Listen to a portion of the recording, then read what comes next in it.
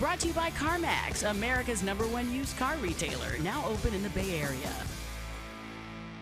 This is my message to you. Say, don't worry, no, don't worry about a thing.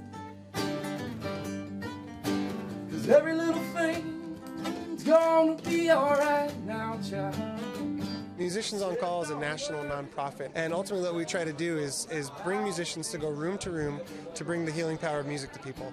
And so being here today with Jake is a very special day because not only do we all know him as a great baseball player, but he's a really talented musician. This is just a fun day for us to come, get to get to be a part of something this cool and special, and, and to help launch this program here to and just to come spend the day here, you know. You get out of here, you can come see us at the ballpark.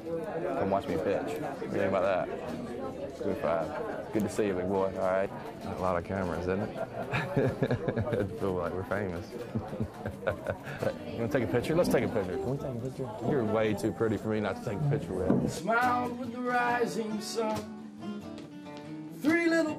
To have a chance to come out and spend time with kids, let alone get to play some guitar and, and interact, um, it's healing and, and it's uh, fun for everybody. It's uh, a great perspective for everybody involved and couldn't be any more excited but just a great positive person and his energy rubs off on everyone. And if you looked around the room and see the smiles on these kids face you can tell that he really had an impact today. So we we couldn't be any more lucky to have such a great partner in Jake and the San Francisco Giants as part of this launch.